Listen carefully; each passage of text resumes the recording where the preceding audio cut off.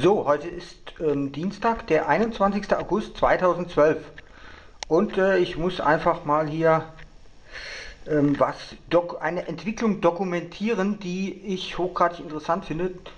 Ähm, und zwar mein Indoor-Outdoor 265 Tage äh, Garten oder sagen wir mal äh, Gemüse- und äh, Kräuterliefermaschine. ja? So, ähm, äh, ich habe jetzt hier drei Quadratmeter oder zwei, zwei bis drei Quadratmeter meiner Wohnung verwende ich im Winter und nachts äh, als Garten. Ja, es ist dann, wenn es dunkel ist, wird es beleuchtet. Ich muss das äh, Zimmer eh beleuchten äh, und das sieht unheimlich toll aus. Das ist auch gut für die, äh, für die Luft. Ja, da wird die, die Luftfeuchtigkeit wird äh, erhöht äh, und mit Sicherheit, äh, die, das ist hier eine gewaltige Menge Grün, das filtert eine Menge, eine Menge Luft, ne? das, ist, das ist ja schon mal klar. Also das produziert Sauerstoff und, und äh, zerstört oder äh, frisst Kohlendioxid. Ja? Okay, ähm, so, also die Sache ist auch so, äh, äh, das ist jetzt hier erst der Anfang. Ja? Also man sieht hier ja eine Menge äh, Töpfe, die äh, da kommt erst noch was. So, okay, ich will jetzt mal hier äh, mal kurz äh, den, den Ist-Zustand äh, be beschreiben. So, jetzt haben wir hier erstmal, hier habe ich zehn Stecklinge von Pflaumencocktail, genau genommen Pflaumen-Cherry-Tomaten, ähm, die aus äh, den Geiztrieben äh, äh, entstanden sind und die alle äh, anwachsen, ohne, ohne Wurzelhormonbeschleunigung und so weiter. Gut, die werden mal richtig schön. Hier eine Sache, was ich neu entdeckt habe, und zwar grüne Zwiebeln bzw. Lauchzwiebeln. Das sind jetzt hier fünf. Äh, die habe ich mal. Äh, ich habe hier in diesen Balkonkästen äh, jeweils 1 Euro. Ähm, hab, die habe ich komplett voll gesät mit Lauchzwiebeln. Ja, äh, da kommen pro Stück 100. Das ist, äh, äh, übrigens möchte ich noch was sagen zu den Kosten. Also das alles hat äh, 50 Euro gekostet und hat jetzt schon, äh, äh, ich muss zum Beispiel nie wieder Kräuter kaufen. Also ich verwende eigentlich täglich Kräuter, da nehme ich meistens so tiefgekühlte, weil das ist am praktischsten.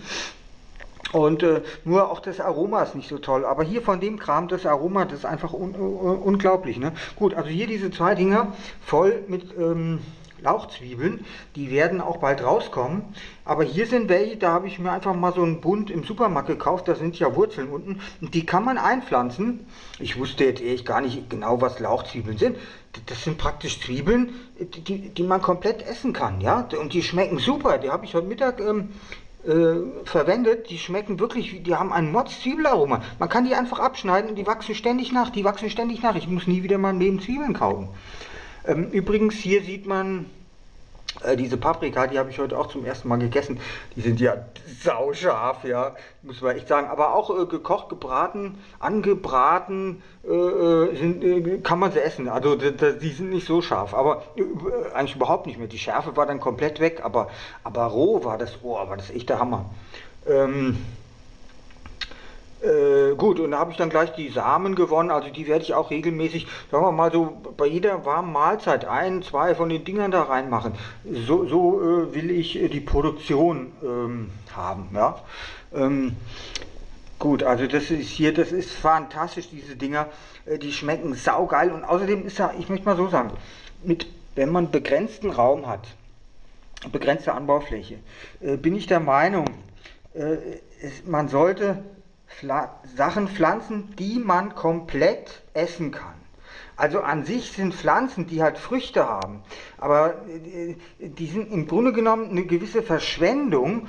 Äh, äh, besser sind halt Pflanzen, die man komplett essen kann. Ja? Das ist eigentlich das Wirtschaftlichste, das Sinnvollste in, so, einer, in so einem Konstrukt. Hier ähm, in dem Topf auch Lauchzwiebeln. Also ich habe jetzt massenhaft Lauchzwiebeln, die, die kann man richtig, also bei YouTube ähm, äh, gibt es da massenhaft ähm, ähm, Anleitungen, was man daraus äh, kochen kann, machen kann. Also fantastisch, ja. Das ist also, das ist eine super Sache. Ich, ich werde nie wieder in meinem Leben Zwiebeln kauen müssen.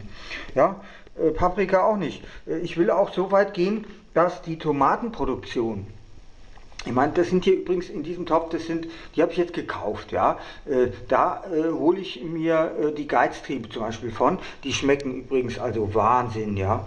Und ähm, äh, wenn die äh, dauerhaft äh, in Blüte gehalten werden, ja, über die Licht, über die Länge der Helligkeit des, des, des Lichtes pro Tag, dann dürfte die Produktion recht ordentlich sein. Vor allen Dingen, da hier schon wieder zehn nachkommen und ähm, ja, also da muss ich natürlich räumlich, muss ich mal sehen, äh, ob ich, äh, ich meine, äh, wie gesagt, ich will jetzt, jetzt hier, es, es wird letztendlich die, die, ähm, ähm, der Platzbedarf in meiner Wohnung, der wird äh, sich nochmal verdoppeln. Allein wegen dem, was jetzt schon in der Pipeline ist, ja, das ist einfach, das ist einfach klar. Aber irgendwo ist natürlich auch Schluss dann, also ist klar. So gut, hier Basilikum, man sieht, oder man sieht es nicht, schon ganz schön gerupft weil ich da regelmäßig äh, Basilikum, hier äh, Thymian, das äh, ich, ich äh, mache in alle Gerichte äh, immer ein bisschen Basilikum, was heißt bisschen, äh, ordentlich Basilikum, Thymian, Schnittlauch, Petersilie, bisschen Rosmarin. ja, also alles, was ich hier so habe, das sind so meine Lieblings... Liebstöckel habe ich jetzt auch noch. Okay, so, ich gehe mal weiter. Ähm, gut, also hier in dem Topf, äh, so eine Tüte Samen kostet äh, 19 Cent. Ja, ähm, hier so ungefähr, da werden ungefähr hm, ja, 30, 30 Lauchzwiebeln rauskommen. Hier werden ungefähr 100 und da auch 100. Ja, also das ist, das ist sagenhaft. Ne? Gut, dann jetzt hier weiter.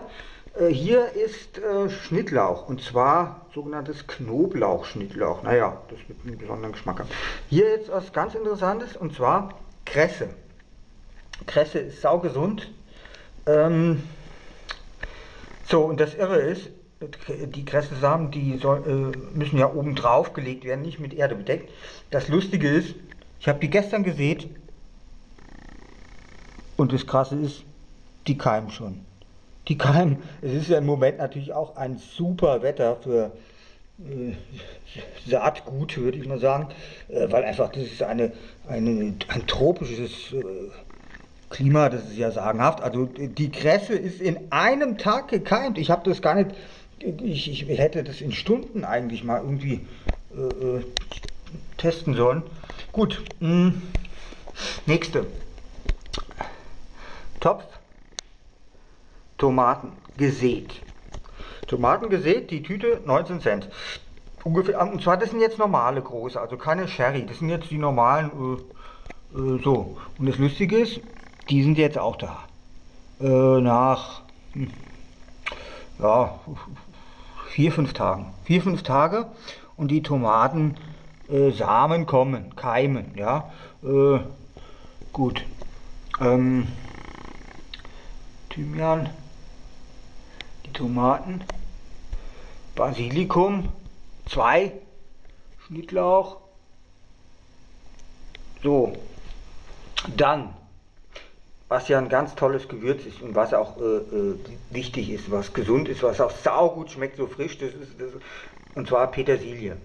Also hier der ganze große Topf, drei Petersilie und die eine, ja, Liebstöckel oder was, ich, ich, weiß nicht, was es ist. Ich habe das gekauft, weil es toll riecht und äh, ist gerade frisch eingepflanzt. Also Petersilie, fantastisch, frisch gepflückt, ja, das ist, das ist ein Genuss, ne? da gibt es nichts. Und ähm, ja, dann hier noch mein, mein erster Topf. Äh, da plane ich auf Dauer weil das ein Riesenpott ist, mit riesen Volumen, mit ganz, ganz viel Erde, den kann ich auch kaum noch bewegen, äh, dass ich da äh, ganz, ganz viel Tomaten, dass ich da einen riesigen Tomatenbusch draus mache, und zwar wahrscheinlich die da hier. Äh, das, das sind so 30, 40, aber ist ja egal, das, das kostet ja nichts.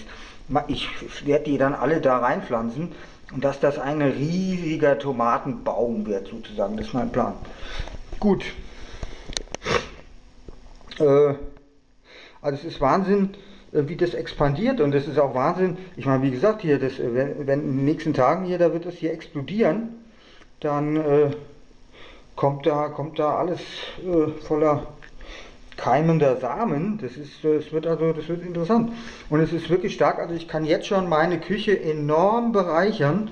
Und ich denke mal halt so frisches Zeug, äh, das ist auch äh, wahrscheinlich ziemlich äh, gesund, ne? würde ich mal sagen. Vitamine, Mineralstoffe und so weiter. Und weiß ich, man kann ja da auch äh, ähm, alles Mögliche auch so äh, verflüssigen. Das ist auch so ein Plan mit so einem mit so einer Saftmaschine da vielleicht mal auch das eine oder andere. Äh, gut, so sieht das im Moment aus, was soll ich noch sagen? Also wie gesagt, die Mischung, die Erdmischung, das ist wirklich, das ist, äh, naja, ich würde mal sagen, 25% normale Blumenerde aus dem Supermarkt und aber einfach um das ein bisschen auszulockern. Aber ähm, der Großteil der Erde, das ist äh, wirklich ganz frische, gute Erde aus der Natur, ja, weil äh, ich will auch da keine Belast möglichst wenig Belastung haben. Und da, wo ich die Erde hergeholt habe, da ist, äh, glaube ich, mit, äh, mit absoluter Sicherheit keine Belastung, ja, äh, hinsichtlich irgendwelcher ähm, Pestizide oder Schadstoffe oder so weiter. Gut, also sieht es im Moment aus. Ich denke, dass äh, ich werde das fortlaufend dokumentieren, auch für mich. Aber äh, wie gesagt, ähm, vielleicht der eine oder andere. Mir ging es eigentlich auch so, dass ich äh, da von YouTube-Videos irgendwie habe ich gedacht, oh, das könnte man mal machen, das ist eine tolle Idee irgendwie. So eine gewisse auch, erstens macht es Spaß, das so wachsen zu sehen, zweitens ist es aus meiner Sicht äh, praktisch, äh, äh kostet das nichts, ja, das kostet nichts.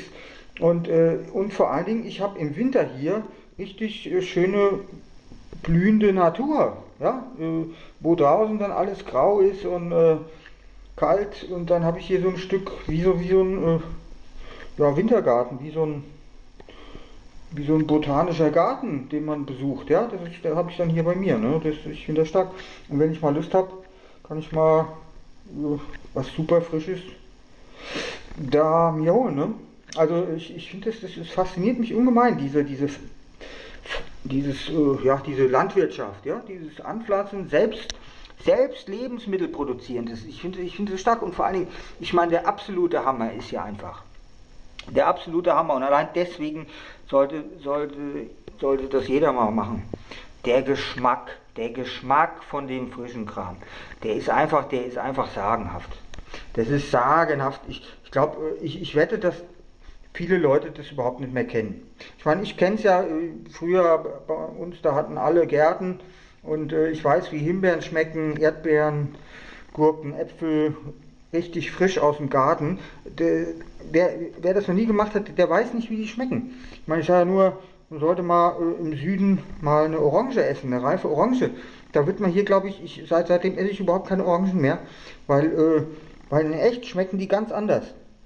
Und äh, ich bin mir auch sicher, ich würde mal unheimlich gern echt mal frische Bananen essen. Ich wette, dass Bananen auch völlig anders schmecken. Es wird alles grün geerdetes Zeug und äh, damit es lange haltbar ist, damit der Transport gut geht und, und so weiter. Ähm, aber hier wirklich ganz reifes Zeug, ganz frisch, äh, sich hier äh, zu pflücken, das ist einfach zu sagen.